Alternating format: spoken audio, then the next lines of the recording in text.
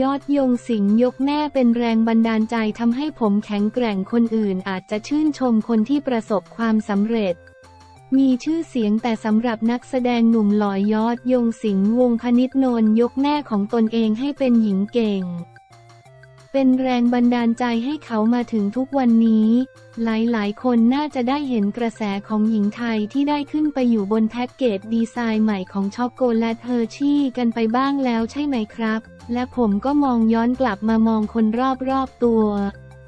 จริง ๆ มีคนอีกมากมายที่ทำสิ่งดี ๆ เพื่อคนอื่น แต่ก็ไม่ได้รับการมองเห็นหรือถูกชื่นชนมากนักผมจึงอยากใช้โอกาสนี้ในเดือนสตรีสากล ชื่นชมคุณแม่ของผมเองที่เป็นพลังใจที่ยิ่งใหญ่สำหรับผม และผมก็อยากจะชื่นชมเธอ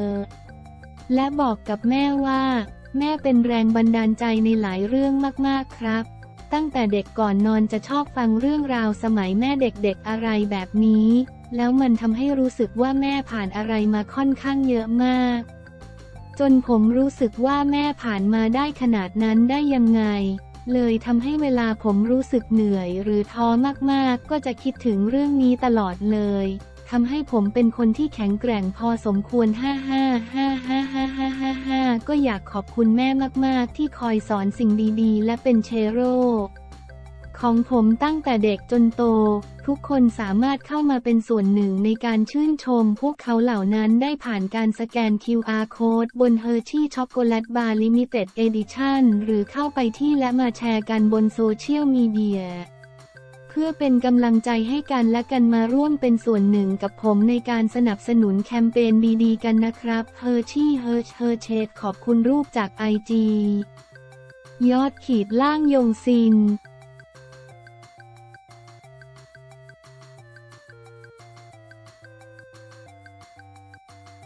ราบประดนช้ำถูกพิพากษาไปแล้วศูนย์รายได้เตรียมหันหลังให้วงการปราบดอลอช้ำเหมือนถูกพิพากษาไปแล้วศูนย์รายได้เงินเก็บไม่เหลือเตรียมหันหลังให้วงการคงไม่เหมาะแล้วฝากถึงสรยุทธ์อยากรู้มาถามได้วันที่ 7 มีนาคม 2566 ปราบประดนสุวรรณบาง นักแสดงรุ่นใหญ่เปิดใจเตรียมหันหลังให้วงการบันเทิงหลังถูกแจ้งข้อหาความผิดฟอกเงินคดีแชร์ Forex 3D โดยคิดว่าวงการมันคงไม่เหมาะกับผม ผมมาจากลูกชาวไร่ชาวนาเด็กบ้านนอกคนหนึ่งก็ไม่เป็นไรที่จะกลับไปเป็นเหมือนเดิม ตอนนี้ก็กลับมารับงานแสดงเต็มๆแล้ว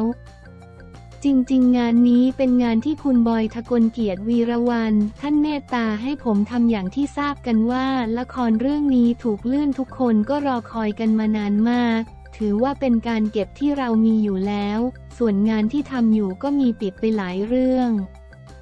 อ่านข่าวปราบประดนบุก DSI แฉ ทนายฮอ เรียกเงินหลักสิบล้านเผยมีหลักฐานอ่านข่าวทนายเฮงออกโรงชี้แจงโต้ปราบประดนเตรียมฟ้องกลับแล้วข่าวที่เกิดขึ้นเป็นผลกระทบไหม กระทบครับ กระทบเต็มเต็มยิ้ม โดนแคลเซอร์ไปเยอะแค่ไหน ปกติชีวิตผมถ่ายละครประมาณ 5-6 เรื่องต่อสัปดาห์ละครใหม่ ๆ และภาพยนตร์ที่เข้ามาที่ติดต่อไว้ก็ยกเลิก ผลกระทบจากข่าวที่นำเสนอไปสองเดือนช่วงนั้นแหละยิ้มเหมือนกับว่าผมถูกพิพากษาไปแล้วในโลกของโซเชียล ตัวอย่างของผมมันชัดเจนว่าเมื่อเราไม่ผิด เราก็พยายามต่อสู้เรียกร้องความยุติธรรมให้กับตัวเอง ถ้านับการสูญเสียรายได้จะประมาณเท่าไหร่ ช่วงเวลาที่ผ่านมาที่ผมโดนผลกระทบเวลา 6 เดือนได้ ซึ่งนั่นก็คือล็อตหนึ่งของละคร ก็หลายล้านอยู่ครับ ยิ้มกระทบถึงเรื่องบ้านและชีวิตส่วนตัวภาระประจำเดือนของผมจะมีการผ่อนทุกอย่าง ไม่ได้มีธุรกิจอื่น เพราะฉะนั้นรายจ่ายประจำเดือนของผมมีรถ คอนโดมิเนียมตัวเองบ้านที่ลูกๆผมอยู่พ่อที่อยู่นครสวรรค์ แล้วก็ครอบครัวของคุณแม่น้องจิกกีที่จันทบุรีที่ผมต้องดูแลรับผิดชอบอยู่ ตอนนี้คุณพ่อผมก็ดูแลไม่ได้แล้ว ต้องปล่อยให้ตามมีตามเกิด คุณแม่กี่ก็ต้องปล่อยบ้านของลูกๆ ผมก็ไม่ได้ส่งให้ 3-4 เดือนแล้ว ตอนนี้ก็ประคับประคองชีวิตตัวเองให้รอดไปวันๆก่อนครับ ต้องเอาเงินเก็บมาใช้ ไม่เหลือแล้วครับ ละครที่ทยอยปิดไปเขาจ่ายมา คือลักษณะการทำงานของละครมันจะเป็นแบ่งจ่าย 5% 10%เป็นงวดงวด ซึ่งนั่นคือค่าใช้จ่ายในแต่ละเดือน ละครเก่าปิดไปเรื่อยๆ มันเหมือนหมุนไปเรื่อยๆ ตอนนี้ไม่มีงานใหม่เข้ามาทดแทน เพราะถูกแคนเซิลไป จะนัดวันถ่ายแล้วอะไรแล้วก็ถูกยกเลิกไป โดยเฉพาะที่ผมเสียใจมากๆ คือภาพยนตร์ผมรักภาพยนตร์มาก ผมมีการติดต่อจากค่ายใหญ่หนังหน่าเล่นมากก็ตกลงเรื่องคิวถ่าย เริ่มทุกอย่างเรียบร้อยไปแล้ว เหตุผลหลักๆ เขาเห็นข่าวนี้เขากลัวว่าถ่ายถ่ายอยู่จะมีเรื่อง คนไม่รู้ความจริงคืออะไรทีนี้การนำเสนอบ้านเราเป็นระบบการกล่าวหา คือกล่าวหาไปก่อน ถ้าไม่ผิดก็ไปแก้ตัวเอาเอง แต่ผมเข้าใจว่าสื่อได้รับข้อมูลมาจากหน่วยงานราชการก็เลยมั่นใจว่านั้นคือข้อมูลจริงเลยนำเสนอไป มันคือการพิพากษาผมว่าผมโดนแบบนี้ พอถูกจ้างงานก็บอกให้ไปจัดการตัวเองให้เรียบร้อยก่อน วันนี้เลยไปทวงถามว่าเมื่อไหร่จะจบ ชีวิตผมพังมาครึ่งปีแล้ว ถ้าเกิดแบบนี้ไปเรื่อยๆ เราจะทำยังไงต่อหลังจากนี้คิดว่างานจะเริ่มกลับมาไหม ผมคาดเดาไม่ได้เลย แม้แต่ผมไม่เคยคาดเดาว่าชีวิตผมจะเป็นแบบนี้ จากคนที่มีงานตลอดมันยังเกิดวิกฤตแบบนี้กับผมเลย วางแผนอะไรไว้ต่อไหม ถ้างานยังไม่มี ไปแล้วครับ ผมก็คิดว่าวงการมันคงไม่เหมาะกับผมทำไมถึงมีความคิดนี้ ผมมาจากลูกชาวไร่ชาวนาเด็กบ้านนอกคนหนึ่ง ก็ไม่เป็นไรที่จะกลับไปเป็นเหมือนเดิม จะให้เวลาตัวเองถึงเมื่อไหร่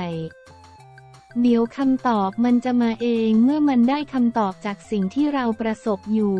ทุกอย่างมันจะบอกเองว่าควรไปได้หรือยัง แสดงว่ามีโอกาสหันหลังให้วงการ ผมมีความรู้สึกว่าก็ตรงนี้เขามองว่าผมไม่ใช่ความสุขของที่นี่ ไม่ใช่สิ่งที่จะเป็นส่วนหนึ่งของที่นี่แล้ว เพราะข่าวที่นำเสนอออกไปพิพากษาผมแบบนี้แล้ว ผมรู้สึกว่ามันโหดร้ายจัง 30 กว่าปีแสดงว่าความดีงามที่เราทำมาตลอดมันปกป้องเราไม่ได้ เราก็ต้องไปอยู่ในมุมที่ไม่ต้องไปอยู่ในสังคมกว้างๆก็ได้ไปอยู่ที่แคบๆ ก็ได้คิดว่าต้องใช้เวลาพิสูจน์อีกนานไหม ผมไม่แน่ใจคือคนที่กำหนดว่านานไม่นานได้คือคนที่มีอำนาจในมือครับ เพราะเขาเป็นคนกล่าวหาผม และก็มีคนส่งข้อความให้ผมทั้งทั้งที่วันนี้ผมเพิ่งคุยไปนะครับ จริง ๆ มันมีการชี้แจงมาอย่างชัดเจนตลอดเวลาอยู่แล้ว เรื่องรถยนต์ผมฝากไปถึงพี่สรยุทธ์นะครับ ที่บอกว่ารถคันนี้อยู่ในการครอบครองของปราบประดนเนี่ย ผิดนะครับพี่ผมไม่เคยครอบครองรถคันนี้ รถคันนี้ไม่ใช่รถผมนะครับ ไปทำความเข้าใจใหม่นะครับที่พูดออกไปแล้วมันทำให้ผมรู้สึกว่าเนี่ยมันเกิดประเด็นอีกแล้ว เพราะคนที่พูดเนี่ยน่าเชื่อถือไง เพราะฉะนั้นผมถึงบอกว่าเช็คดีๆ ครับ ถ้าพี่อยากรู้ส่วนตัวกับผมพี่เรียกหาผมได้ตลอดผมทำงานอยู่ช่องสาม มากี่ปีแล้ว เพราะฉะนั้นผมเหมือนน้องที่เจอกันตลอดอยู่แล้ว ใครไม่เข้าใจผมหรืออยากรู้เรื่องส่วนตัวผมจริง ๆ ผมเบื่อจะพูดเรื่องนี้แล้ว คนอย่างผมคือถ้าไม่สาหัสจริง ๆ ผมไม่ค่อยพูดผมเป็นคนนิ่ง ๆ ผมรู้ว่าผมเหมาะกับอะไรมากกว่า ผมเหมาะกับการอยู่นิ่งๆ และทำงานไปผมเหมาะกับการที่จะแอบทำงานที่ผมทำมาตลอด 30 กว่าปีทุกคนรู้อยู่แล้วว่าผมทำอะไรผมไม่เหมาะกับการที่จะต้องมาเป็นกระแส มาเป็นข่าว ผมไม่ถนัดครับ